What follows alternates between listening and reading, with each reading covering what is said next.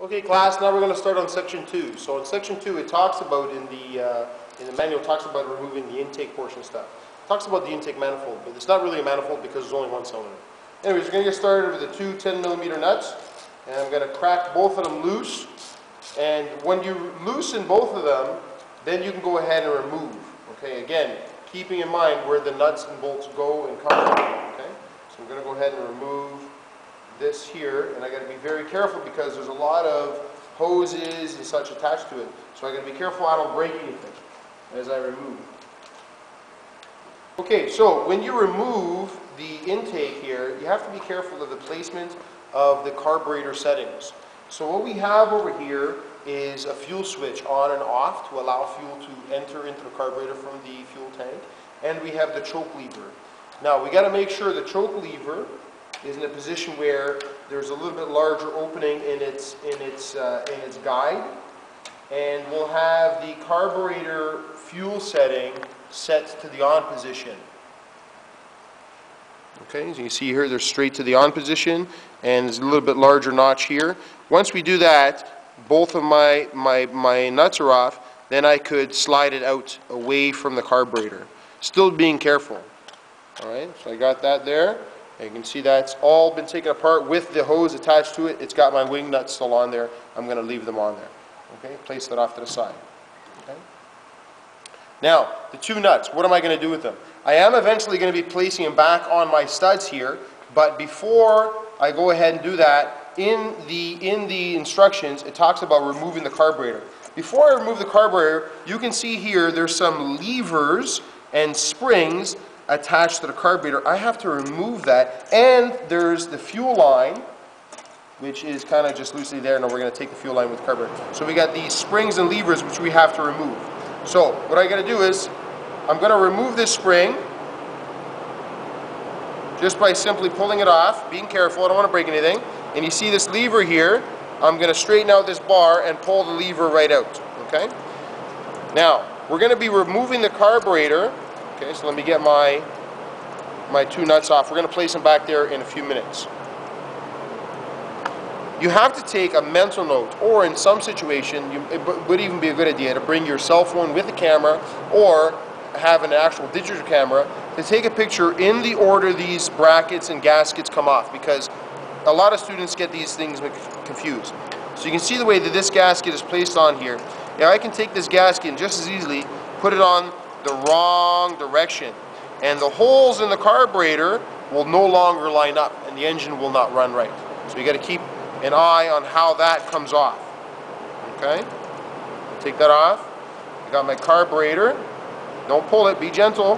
Got the fuel lines coming with it. This green gasket stayed on there. And it looks like it doesn't want to come off. I'm not going to force it, I'm going to leave it be. Then we have this spacer. And the purpose of this spacer is so that it can route the, um, the, the different lines, rubber hoses and such, and it acts as a preventative to keep the heat of the engine away from the carburetor. It's a, it's a plastic spacer, okay? So it isolates the heat of the engine, keeps it on the engine, it doesn't transfer it to the carburetor. The engine is mostly aluminum, the carburetor is aluminum, aluminum transfers heat really well. So we've got to remember the direction this goes on, it doesn't go on in the wrong direction, okay? And then we got a gasket there as well. We can leave that gasket there. It's not going to bother us where it is. Okay. So, take my nuts, place them on my studs, and I won't lose them. I know where they belong. Okay, students, now we're going to remove this bracket over here. And this bracket is the governor bracket, okay? It has to do with the throttle, how fast the engine will run. So we're going to remove this bracket, and we're going to remove the spring from this bracket. This bracket here, guys, we're going to leave it be.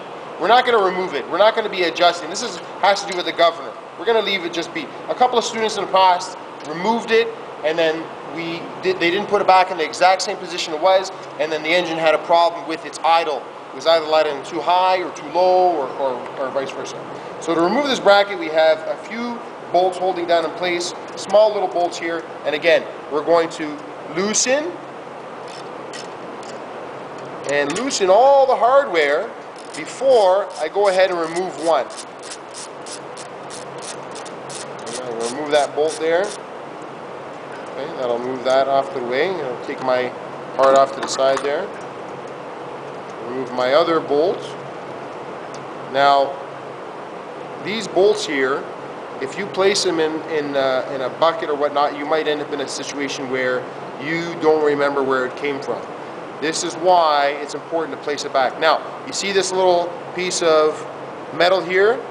This piece of metal held the first hose we removed. So what we're going to do with this piece of metal is with this bolt and this piece of metal, I'm going to place it back into the engine like so. And there's no question later on as to where does this belong. Same thing with this bolt that we removed the bracket. We're going to place it back into the into the hole like so. So that no question later on as to where does this bolt belong. How come this hole here? What is it for? And so on and so forth. Okay. So again, we got the spring there. You can see where it's connected. Okay. And we simply remove it. Okay. So now I have this bracket. I have my one spacer, two spacers. Okay, guys? And I have these springs here as well. Now these springs, I don't want to leave these springs hanging around because this is going to get lost. So I'm going to remove my springs. Okay? And it's very important you, uh, you know where the position they go back in. You can, again, take a picture of it. You can refer back to this video and, uh, and to determine where everything goes. Okay, so now I have a lot of these little items here that could easily get lost and confused where they come from, where they go. So what we have in our classroom is a bunch of these resealable bags. These ones are a little small, we gotta get some bigger ones. But we can throw them in here, all our items, and uh, then we can have access to it later on. We can put this in our box. Okay, so we're gonna place all our little items inside of this resealable bag. Close it up so we don't lose anything. And I'm gonna take a piece of tape and I wrote section two on my piece of tape because that's from section two in the in the, uh, the instructions. But you can easily write carburetor, intake, spacers. You can write your group name on there, whatever it takes for you to remember to organize. So there you go. I got my little baggie there, and I'm to place it with my other items uh, for, for reassembly later. Okay, the next item in section two, it talks about removing the cover, the pull start as it was, okay? Now, the pull start, a lot of people make the mistake of removing these three bolts. Do not remove these three bolts. We are going to be removing the four perimeter bolts around this, this, uh, this item here. Before we do that, we have to consider this wiring here because there is a on and off switch. And this on and off switch, what it does is it kills the spark plug, okay? So as the engine's running, you're going to keep it in the on switch. If you want to shut the engine off, the way to do it is to flip it to the off, the off position. Okay, that's how we do it. So we have to consider this. We're going to have to disconnect this wiring. And again, be careful and try to determine as to how things go back together so that you can reposition things later on. Okay, so we just got this that disconnected. We got this little ground wire here disconnected. Okay, or we disconnected by removing these bolts. And again, good question is, what do I do with these four bolts? when I have the shroud removed? Well, pretty simple, guys. I'm going to put them back in the existing Once the shroud is removed, I'm going to take this bolt and place it back into that same hole. So I know exactly where it comes from, and later on I know exactly where it's supposed to go. There's no questions in my mind. There's no lost hardware. Um, it's, a, it's a much easier, smoother transition of repairing. Okay guys, so we got the four bolts removed. Uh, we simply just remove the shroud, not very hard. I take my four bolts and I place them back inside the holes. Okay, very simple. There's the other hole there.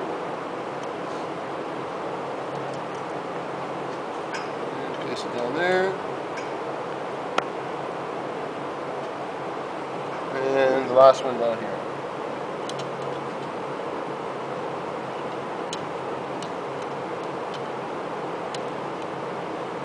Okay, now, also what it asks you to do is to remove the ignition coil. And this is the ignition coil. Now, later when you go to install the ignition coil, you have to, so this is the flywheel and it rotates. The ignition coil does not rotate. But you can see here that they are extremely close together. So later on, when you put it back, we're going to have to get it to that same position. It has to be a given distance away from the flywheel. The flywheel has this magnet on here. As you can see, this is easy to move and as you can see, as I move it past this piece of metal, it wants to take it with it. That's a magnet. And the magnet has to pass the ignition coil in order for the ignition to work. Okay, so we're going to go ahead and loosen, loosen, and then remove the hardware. Now you can see these holes that I'm removing the, car, the, uh, the ignition coil from. It's an elongated hole, okay? And the purpose for that elongated hole is so that I can adjust the distance the coil is away from the flywheel. And that's an important adjustment, and you'll adjust that with your uh, instructor uh, during reassembly at the end of the project. Okay, I take my bolts, and I'm going to place them back in the holes.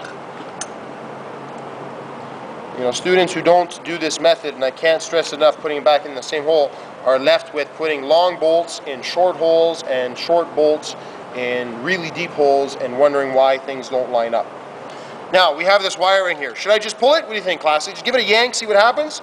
Absolutely not. So I'm going to follow this wire over the top of the engine, and I see that it connects to the original wiring there. So I'm just going to disconnect it, give it a little pull, and I'm going to examine how it's routed because if I don't place it back in the original routing, it can get caught up into the spinning parts of the engine, and then we can end up with some problems there later on. Okay, so there's the ignition coil, spark plug, twist, and pull at the same time. Ignition coil has been removed. Okay, now in the instructions it talks about removing the metal shrouds here. Okay, on the bottom half of the engine. So it has some metal shrouds. And the purpose of the shrouding, guys, along with the original shrouding for the pull start, is as the flywheel rotates, it generates wind. Right? It's got this fan here. And that wind needs to be channeled around the engine to cool it off. And the shroud guides it in that direction. So we're going to remove the shroud down here. And there's a couple of bolts. Really simple. Same size. You can see I haven't changed my tool size. I'm going to loosen all the bolts first. And then I'm going to go ahead and remove all the bolts. And it's a really simple process. And we just want to get the shroud out of the way so we can access some larger hardware to remove the cylinder head later on in the piston and so on and so forth, all the fun stuff. Okay, so there's the shroud there. I'm going to place that back in there. Place this guy. The front again, there's another one here on this side. And that shroud has been removed. And there's another shroud on the other side, which obviously is pretty straightforward. I'm sure you guys can figure it out. Okay, class, that is the end of section two. Congratulations on uh, completing section two.